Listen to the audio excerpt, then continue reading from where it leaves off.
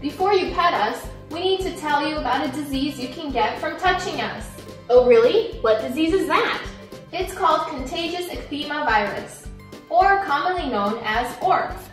It's a DNA virus that infects sheep and goats and can be passed on to humans. It's also called contagious pustular dermatitis or sore mouth. Oh wow, I've never heard of that. How do I get it? Humans can get this virus by a couple of different ways. One way is by direct contact with infected animals. The other way is by handling contaminated equipment. Animals can transmit this virus to each other through cuts or abrasions in the skin and by direct contact like touching nose to nose or skin to skin. That is great to know. But what are signs of disease that I might see on you? The most common lesions in animals is a blister that develops into a crusty scab or sore on the corners of our mouths and around the muzzle. But these sores may also appear on the lower legs and feet. And the lesions on people? People can show similar sores around their mouths and commonly develop sores on their hands and feet. They may also develop symptoms of pain, mild fever, or fatigue. Wow. How do I prevent infection? The ORF virus can remain in the environment for a long time, making prevention of infection difficult.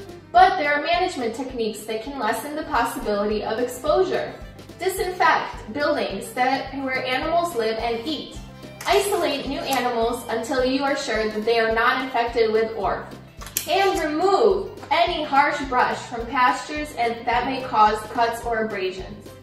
There is a vaccine available that can help protect animals that have previously been exposed to the virus, and it can help prevent repeated infections, so ask your favorite veterinarian. But if you are already seeing signs of disease in your sheep or goats, you can prevent the spread of disease to yourself by wearing rubber or latex gloves when you're handling us around the mouth or muzzle area, especially if you have open cuts or wounds. Always wear closed-toed shoes and never forget to wash your hands.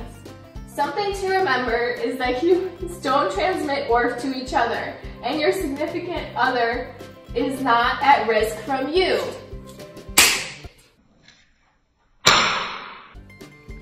Dang! What should I do if I think that I or one of my animals is infected? If you think you have become infected with ORF or notice any kind of unexplained lesions, you should start by calling your physician.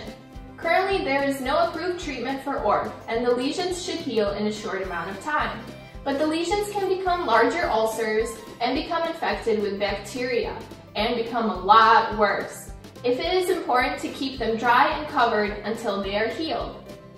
Immunocompromised or immunosuppressed people can develop serious symptoms, so don't hesitate to call your doctor. If you think any of your animals have ORF, you should participate in the practice and sanitation techniques listed previously and call your veterinarian for further instructions. Most animals will recover from the sores in a month, but some may have severe infections that need to be treated. That sounds reasonable. Where can I go to find out more about ORF? I'm glad you asked, Farmer Dell. You can find information on the CDC website or the National Animal Health Monitoring System website. Thank you, Sheep and Goat. You've been incredibly helpful and informative. I'm so glad you told me about ORF and how I can be vigilant for spotting future infections in my farm.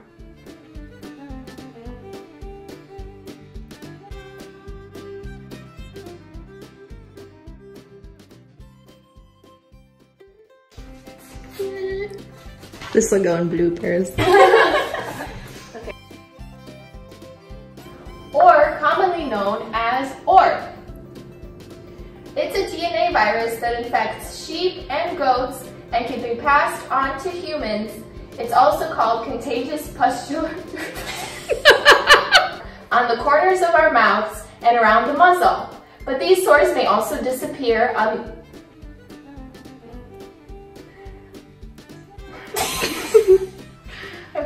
that far.